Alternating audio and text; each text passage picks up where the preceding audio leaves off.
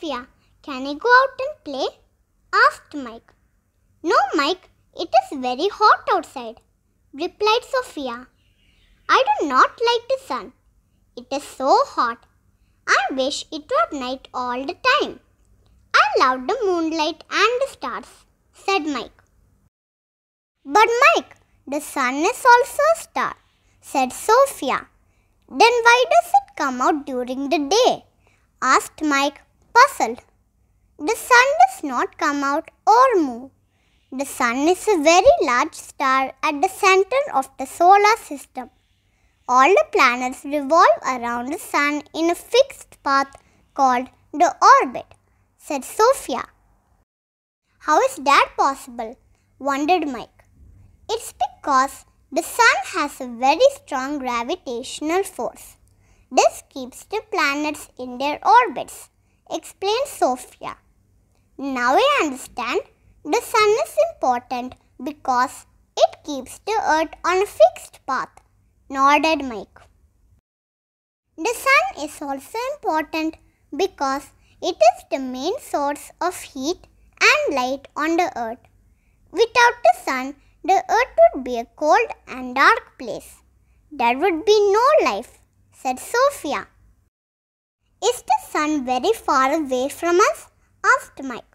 Yes, it is about 150 million kilometers away from the earth, replied Sophia. Sophia, how does sunlight reach us if the sun is so far away? Light can travel in space. Even though the sun is far away, it takes only around 8 minutes for sunlight to reach the earth, said Sophia. When sunlight reaches the earth, some of it is absorbed by the earth's atmosphere and some of it is reflected back into space, she added. This maintains a temperature balance on the earth, explained Sophia. Sophia, why would the earth be lifeless without the sun? inquired Mike. Plants use sunlight to make food. This process is called photosynthesis. All animals and humans rely on plants for food and oxygen. Without the sun, photosynthesis would not be possible and eventually all life would end, said Sophia. Then why does the sun disappear at night? asked Mike. Mike, the sun does not disappear. It only seems so because the earth rotates on its axis. Sophia said, Let's say that this globe is the earth and this ball of wool is the sun. She continued, When the earth rotates on its axis, it is daytime for the part of the earth which faces the sun. In the other part, facing away from the sun, it is night. The earth also revolves around the sun. As it rotates, this causes the different seasons. Sophia continued.